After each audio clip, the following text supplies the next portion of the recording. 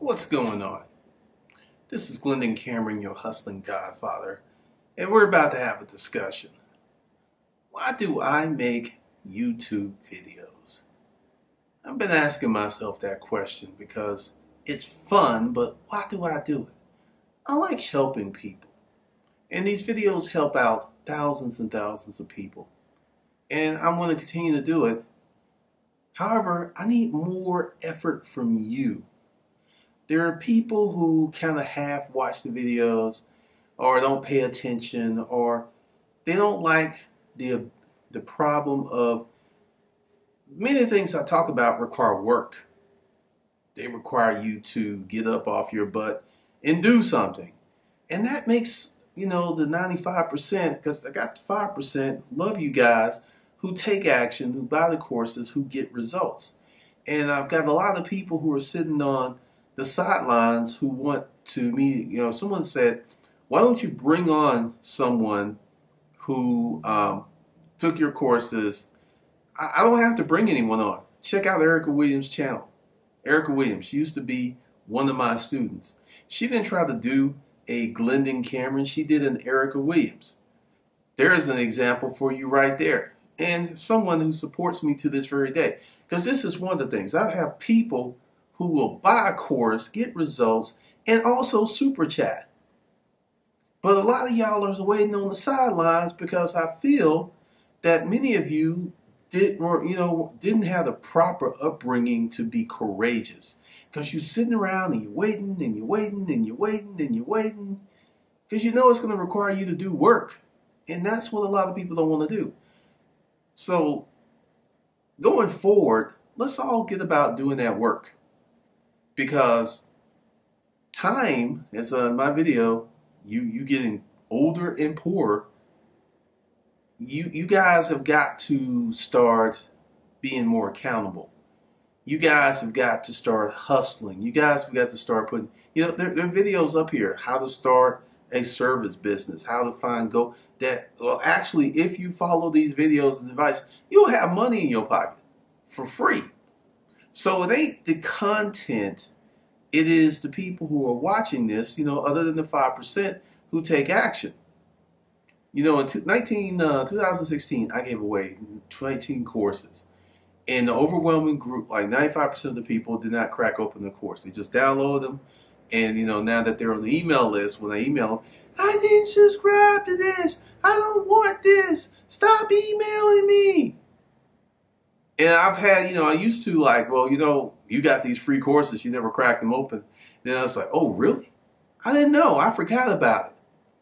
You gotta buy, you gotta stop being lackadaisical about yourself, you, your your success. You must be very intentional about your success. Oh yeah, and I need to insert this message from me to all of my dissenters, haters, and people who feel that they do better than me. Recently, someone said, you know, my stories sound like Sunday school stories, and this is clearly someone who hasn't heard all the stories, haven't observed everything, but nonetheless, this is the seeds of hate. When someone brings something like that up, because we weren't even talking about that, someone was feeling some kind of way. So from me to you, I issue this $10,000 challenge if your stories are just as good as mine, if your experience, start a YouTube channel and start talking about it and let's see how far you get. $10,000.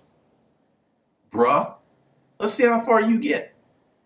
Let's see how entertaining you be. Let's see how people like. Because see, this is the thing. Due to the fact that I made a choice to work on my economics very hard, I put myself in the position to have these experiences that the average man simply can't have because the average man don't have the time. This is how I know when someone's talking this like, well, I got, you know, some experiences. You may have a few experiences, but you don't have as many as I do because you haven't, you don't have my money. You don't have my access. You are not living your life like I live. So there is no way that you can be doing this stuff and hopping on a plane to go practice your American hypergamy because essentially, you are an American going to these countries with these poor girls, and you think that's macking. Mac here in the United States. Because if you can win here, you can win anywhere in the world. So that's my challenge because uh, there there are some people who will come up and they'll start talking that noise because they're feeling somewhat inferior. They're feeling a little they all up in their feelings like Kiki because the reality is I am a better man than you. Deal with it. These experiences, because, you know, I've been able to put together a really good business and at the same time practice sowing my seeds, having a lot of fun. I've been able to do both concurrently. And you have not been able to do that. Because, like, to my fellas, you know what? Everybody should travel. You should get yourself a passport and you should go somewhere once or twice a year. I agree with that. But if you're getting a passport so you can go or practice American hypergamy, um, I'm, let me tell you something here. You know, there's a class of women here who are unattended, good looking, highly successful, beautiful women. You ain't even looking at them because you've been dealing with trash and you've been conditioned to deal with trash. And now you disgust it, so you want to escape and go somewhere where it's easier. Get your weight up, bro. You don't have to be on a plane to experience this. Because, you know, as I talk about on the influence frame, the dark side, there's there's so much out here. There is so much out here that you do not you don't have to get on the plane to go out and get premium trim. You don't. But many of you are convinced that's the only way you can, and you're more likely part of the MGTOW red pill contingency who borderline hate women because you can't get what you want from women. You're not practicing the dominant male lifestyle. So that's my challenge to all of you people who want to say something slick. Because I put some money on it because I believe you be lying. I believe you be jelly. Now, let's get back to action. Because, you know, the, based on this challenge, this challenge will require people to do something. And they have to get results. I remember when I started Disruptive Mail and I had this one guy's like, I need to start me a channel. I was like, go ahead, bro. Go ahead. You you come for the king. You think wearing this crown is so easy? Go for it, bro. Do it. The, the, thing is, there are millions of YouTube channels that are very unsuccessful because it's more than just telling a story. It's your camera work. It's your consistency. It's your personal discipline. There's a whole bunch of things to this game that a lot of dudes just can't do because they don't have, they don't practice any personal discipline. They don't, which also shows up in your business. I've been talking like this for a number of years. If you be good with business, you could be good with women. The same thing, the same practices that you use to get customers, you could use to get women. Which tells me, you know, if you can't get women, more than likely you can't get money. Because there was some references like, I keep getting money. Most of y'all are broke. Most of y'all don't make no real money. Most of y'all don't make 10, 20, 30, 40, 50, 100K, 200K, 300K a month. Y'all ain't making that kind of money. I could tell by watching your Facebook post, like, you know, well, when I save up, I'll go to get this grip. When I save up. Once again, people, let's get busy. Let's make money. Let's get this Wi Fi bread. And you got to be active.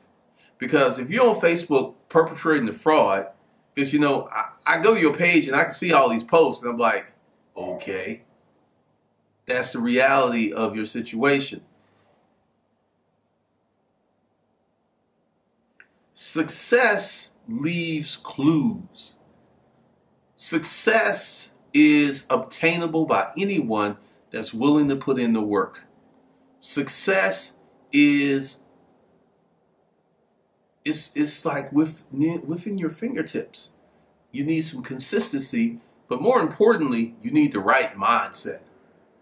There are so many people, and I'm speaking to my black folks, who are caught up on this racism thing. There's racism around every corner. There's some white person trying to be mean to some black person around every corner. You know, just Glendon Cameron, just because you personally don't experience it, don't mean it ain't happening. I never said it ain't happening. I'm just saying it ain't as bad as y'all claim it to be. 1966, they were putting fire hoses and dogs on black people. They ain't happening. That's called improvement. But y'all don't want, y'all want to stick here and you want to lean on racism to justify your lack of success. That's where it comes in. Because anybody that wants to fight me on certain things, they're usually unsuccessful people. And that's one of the little things you can like, well, the reason I'm not as successful as I want to be is because of racism. Because some white person got in my way. You know, most white people are poor. Most white people don't have no power. They don't have the time or the ability to get in your way. The reality is you are not working as hard as you should be on your personal goals. Once you let that racism thing go, and not to say there isn't racism, not to say there aren't racist cops, but you know what? The racist cops I've run into, they treated me with respect. They gave me my license. In many cases, a lot of them let me go. But see, I'm not sitting there because I get pulled over by a cop. I want to have an argument and I want to get into law and debate and I want to get in all my feelings get very emotional over a traffic stop. Once again, racism is a toothless tiger. You know, racism, Donald Trump brand, that's dangerous because he's the president. But the average white person has no power whatsoever. But, you know, keep talking about white people in the wealth gap. And let's, you know, speaking of the wealth gap, what are you doing to solve the gap? What are you doing to increase your net worth? What are you doing to get in the system? Because this is one of the biggest problems. White people, and it has been presumed that most of the successful behaviors is, quote, acting white. So a lot of Negroes are not going to act that way, therefore not be successful because those are white attributes. And that is one of the silliest notions. Go back and know your history. Go back and know that black people were doing chemistry, mathematics at a high level, metaphysical stuff. The Moors imprisoned Europeans, taught them stuff. Look at your history. Look at your real history, not the slave history, but the thousand years that the Moors enslaved white people. They were superior. Look at that history. Don't look at, whoa, let me sing, let me sing an old Negro spiritual, because that's all I can do. I can't start a business because the white man won't let me. I can't do this because of white supremacy. You BSing yourself because you don't want to put in the work. Once again, I put it out here the other day. I want white money. I want black money. I want Asian money. I want Ukrainian money. I want Jew money. The business is designed because I today had uh, some consults with some white clients. This whole notion of, well, because you're black, they, they won't deal with you. That is BS. If you're good enough, people will spend money with you, whatever you charge. And once again, as a nod to the positive black folks, there's more and more black folks who are making this Wi Fi bread, who are putting up businesses, who are becoming thought leaders, and it's going to be more and more. And it should be you. You should get off your butt and start doing some stuff and making it happen. Yes, you because either you're going to consider, you know, be here to be a consumer of the internet or you're going to be an architect of the internet. And I say you should get on that producer side because one of the things that you need to do is get busy. Nothing happens with inactivity. And a lot of you go home, watch your sitcoms, play around on Facebook, and you put no energy or time into building your business. And it's just like a pipe dream, a fantasy, some kind of wish that I can get this started. I guarantee you there are steps that you could take today that will start you moving towards your business goals. Today, not tomorrow, but today, tonight, you can start working on something. You got to name your business. You got to plan your business. You got to do some market research. That's some stuff you can do right now, whether you got money or not. And let's talk about money. You don't need a business loan. Not today. You can start a business with absolutely no money and a lot of hustle energy. Money helps, but if you don't have it, you can still get started. You can still make some bread. Start a service business. No money, you know, very little, no money to very little money is required. If you have no money, start a hustle. Craigslist, resell, flip stuff. There are so many ways for you to get money. Get this Wi-Fi bread. Stop wasting time. Stop complaining. Stop hanging around negative folks where nobody has a dream. Nobody has big goals. Because uh, this whole thing about, you know, tall black men don't do as well as tall white men is BS. All of my tall friends have done well in life. And height is an indicator. Height gets you in with women. I'm the past the mythical six foot one. That has gotten me plenty of play. I know this. I've I know the research. So, once again, gentlemen, ladies, let's cut the crap and let's get busy because I am in full training education mode for the rest of the year. There's a lot of stuff that I'm coming out with. There's a lot of stuff that I'm going to drop. There are many things that I'm going to put together. So let's work together for a brighter future for you because you live long enough, the future's coming. The future is coming. The future's coming like a freight train on greased skids. And you just sit and wait, sit and wait, sit and wait and hope it gets better. What about you making it better? What about you stepping up to the plate? What about you making it happen? I've given you a lot of tools, some of them for free. You won't have no excuse other than laziness or apathy. That's it. Laziness or apathy. Because, once again, let's get this Wi Fi bread. Let's make this money. Let's go ahead and change lives. I, it's very distressing because, you know, a lot of people want to embrace the poverty mindset.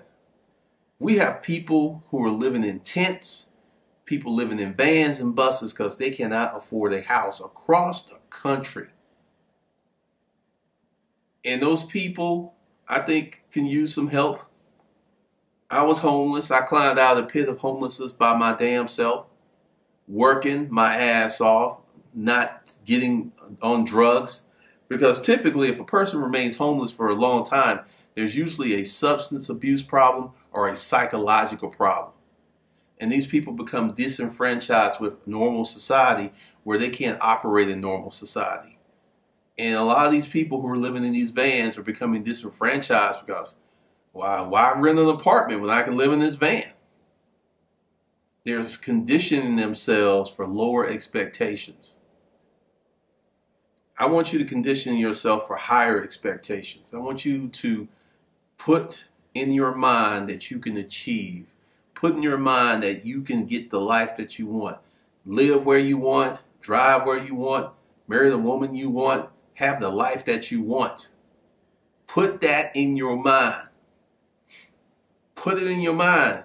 Write it on paper. Write big goals. Write audacious goals. And just shoot and work your butt off for them. I, I'm here to tell you life is going to be beautiful 10, 20, 30 years from now. And if you don't have no money, you ain't going to be able to enjoy it. There's going to be middle advances. If you would take four to five years to bust your butt, build a business, you, the rest of your years you can live in ease. Like the old people around here, they're a different breed of people. I remember I was walking the other day, I saw this old lady this lady, she looked real shifty. She got on me. I realized this woman, because her skin, that's the only thing that gave her away, that she was an old lady. I mean, they're well preserved. They're interesting. They, but see, they got money to live in this neighborhood. For anyone that wants to have this conversation that money does not buy happiness, try living without money and see how happy you will be. I'm not about this utopian, like everyone gets together and eats coconuts and berries and by the campfire and we go down to the river and get some water for the day. I ain't trying to live like that. No. But that's a communal ideal because a lot of you don't want to put in the work. But I'm telling you, you put in the work, you get you a solid business model, You work for four to seven years. The rest of your life can be cake. You can have a yacht. You can have a Lambo and the house and Big Betty, Big Booty Betty all up in the camp. Because, you know, women like men with money. And I know MGTOW and Red Pill like, ah, ah. They ain't going to change. The reality is, if you got some money, a woman to find something cute on you. Reality. I know truth sucks. You know, many of you want these women to like you for you, but you don't like her for her. If she don't look a certain way, you ain't interested. But for some reason, this woman that has high sexual appeal is supposed to be want to get with you. It ain't so, bruh. It ain't so. So that's the message I have, and I've got some tools in this commercial. Go ahead and watch it. Buy something and get busy because I figured out a lot of stuff and I've put this in these courses to cut your learning curve so you can get results much faster. That's what this is for. They're appropriately priced. They're not going to break your pockets. You know, I, I thought about upping the price, but I'm going to leave it the same. Go ahead and get that and get busy. And I'll see you guys back here next week or maybe Sunday. I don't know yet. I don't know. But check out the, this commercial, and I will see you guys later.